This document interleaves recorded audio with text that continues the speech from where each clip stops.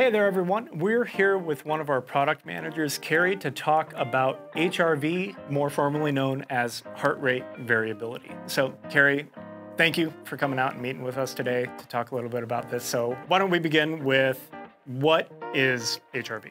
Your heart rate um, doesn't beat in a perfectly regular rhythm. So, there's actually, um, you know, from beat to beat, there's a little bit of variation. And so the heart rate variability uh, is measuring that variation from beat to beat. And we show it measured in milliseconds. Okay, and that's something that could vary uh, either in training during the day uh, or at rest. Right, yeah. So generally, um, you know, you, you can see higher or lower HRV values. A higher HRV value is, is generally associated with being in more of a um, relaxed, rested state.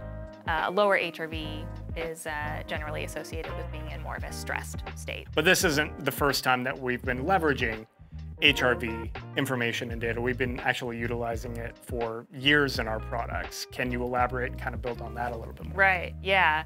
Yeah, HRV, uh, it's been used um, kind of on the back end of things uh, as a component to feed into of our um, all-day wellness metrics. So um, stress tracking is a, is a good one, our all-day stress.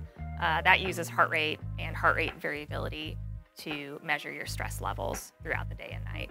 Um, and then also, um, you know, stress is very closely linked to our body battery feature. Um, the body battery monitors your energy levels throughout the day.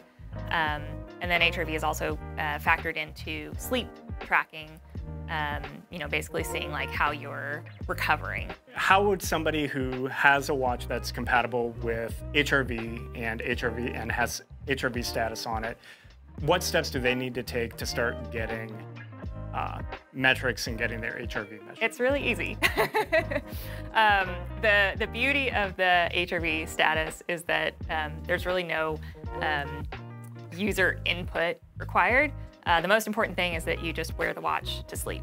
We try to kind of build up as much information as we can about your overnight to try and remove like uh, anomalies or, or um, uh, spikes or, or, differences that might not be significant. Once we've gotten a week's worth of those overnight HRV values, we'll provide a seven day average HRV.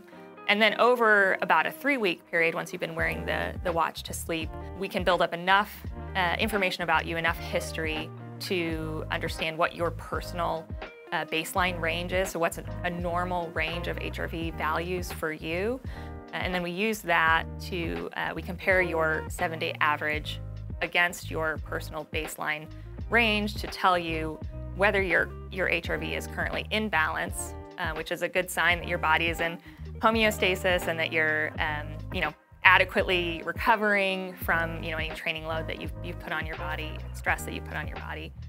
If somebody is unbalanced on either side, what is, is there a general idea that any customer could be able to kind of determine based on that uh, why it reached that realm and then steps that they could do to try to correct it? Uh, you know, there's a couple things to look at. Um, look at your training. How much training have you been doing recently?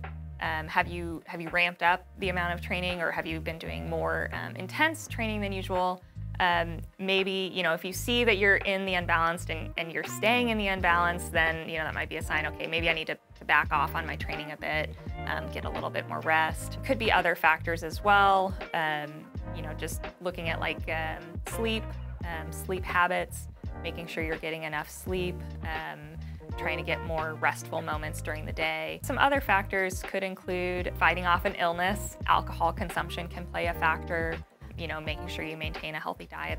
Uh, those are all things that can help to bring your HRV back into balance. What ultimately sh should a Garmin customer walk away with having this information ready and available on their on their wrist at a glance?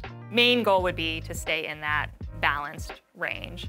Um, you know, if you go unbalanced, um, you know that can be a sign that okay, maybe I'm overtraining. So it's really something to just pay attention to.